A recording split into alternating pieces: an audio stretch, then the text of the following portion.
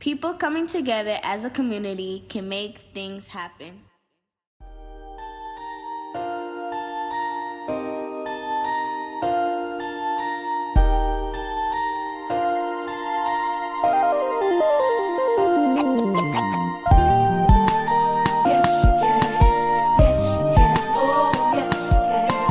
If we didn't have this program, we wouldn't pass. We pass first, second, third, fourth, fifth, or sixth grade because we our homework wouldn't be wrong, our test would wouldn't be correct, and and we we, we wouldn't be getting good grades.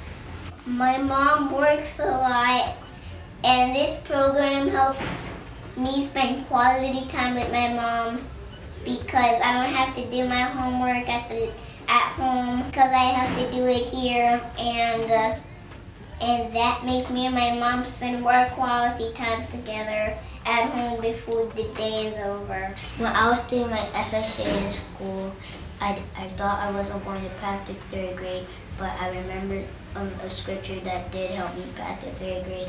That scripture was, I can do all things through Christ that strengthens me. And who taught me that scripture was Miss Jenkins, and that will help me pass the third grade. The teachers here are very special because they're caring. And one time I got an F on my report card.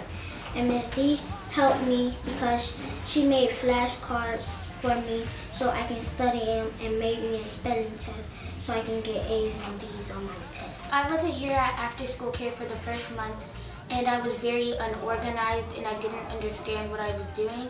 But now that I'm back, I feel much more confident in what I was doing in my work. The best part of this program is everything I did here was more than I did at other programs.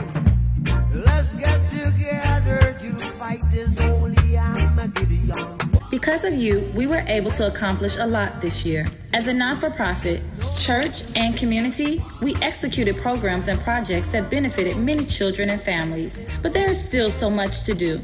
Let's reflect on our past and current success as we prepare to donate towards our future.